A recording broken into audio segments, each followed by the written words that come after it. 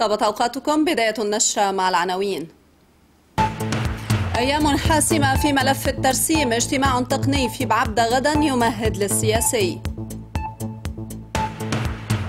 نتنياهو لن يعترف بالاتفاق ويقر بتنازلات كبيرة لمصلحة لبنان. تشكيل الحكومة على نار حامية والراعي يندد باحتمال الشغور.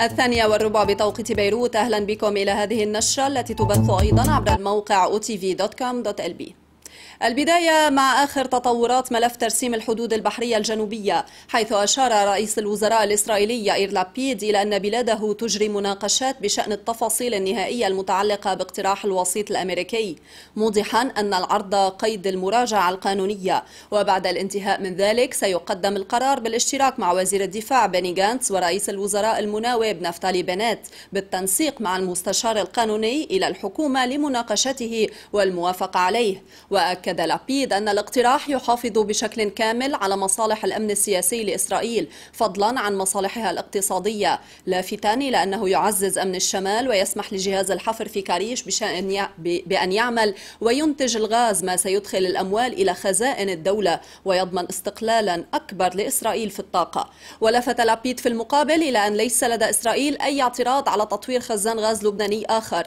مشددا على أن بلاده ستحصل على العائدات التي تستحقها. ومعتبرا أن مثل هذا المخزون سيضعف اعتماد لبنان على إيران ويحد من قدرة حزب الله ويحقق الاستقرار الإقليمي على حد تعبير رئيس الوزراء الإسرائيلي.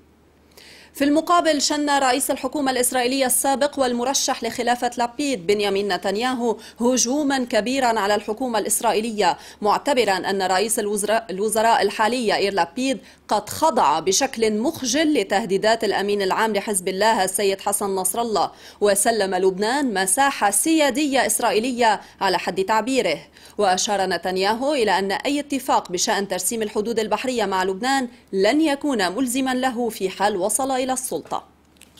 أما لبنانيا وفي وقت تشير معلومات الأو تي في إلى اجتماع تقني لدرس المقترح الأمريكي في بعبدة غدا على أن يمهد لاجتماع سياسي أشار رئيس مجلس النواب نبيه بري إلى أن الاقتراح المكتوب من الوسيط الأمريكي أموس هوكستين يشكل مسودة اتفاق معتبرا أنه يلبي مبدئيا المطالب اللبنانية التي ترفض إعطاء أي تأثير للاتفاق البحري على الحدود البرية.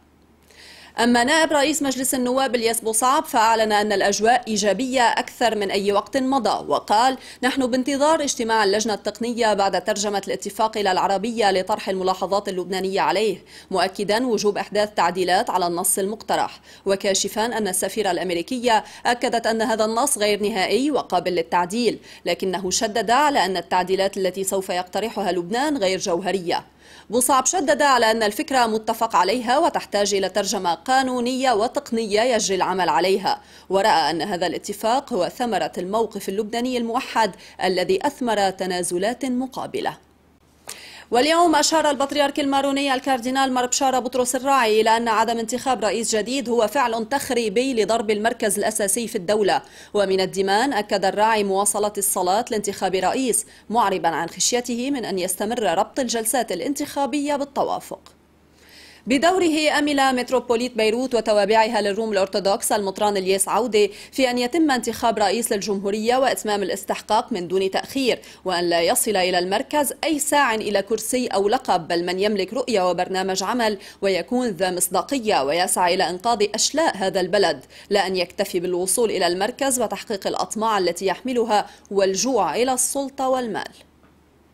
نظمت جمعية بربرة نصار لدعم مرضى السرطان مسيرة تضامنية مع المصابات بسرطان الثدي في لبنان لمناسبة شهر التوعية حوله. تحت عنوان ما بدنا أضوية بدنا أدوية. وانطلقت المسيرة من أمام تمثال المغترب باتجاه ساحة الشهداء. في الوقت الذي انطلقت فيه مسيرات تضامنية أيضا في كل من فرنسا تونس ومصر.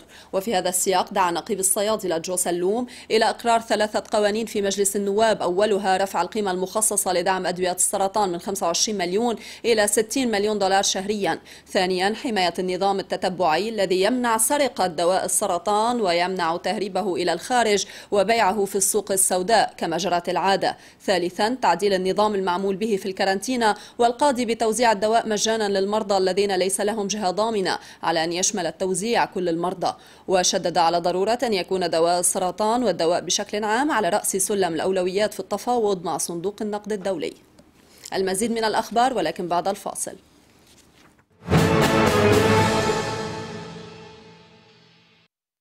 الخبر الأخير حيث ذكرت صحيفة ساندي تايمز مساء السبت أن الملك تشارلز الثالث لن يحضر مؤتمرا مناخيا سيعقد في تشرين الثاني في مصر بعد اعتراض رئيسة الوزراء على مشاركته. وكان الملك الجديد المدافع عن قضايا البيئة والذي خلف للتو والدته إليزابيث الثانية يعتزم إلقاء خطاب خلال قمة المناخ هذه. لكن رئيسة الوزراء أحبطت نواياه هذه واعترضت عليها خلال لقاء شخصي مع الملك مؤخرا. وبهذا نصل إلى ختام نشرتنا للمزيد. تابعونا عبر حساباتنا على مواقع التواصل الاجتماعي وعبر الموقع otv.com.lb شكرا لحسن المتابعة وإلى اللقاء.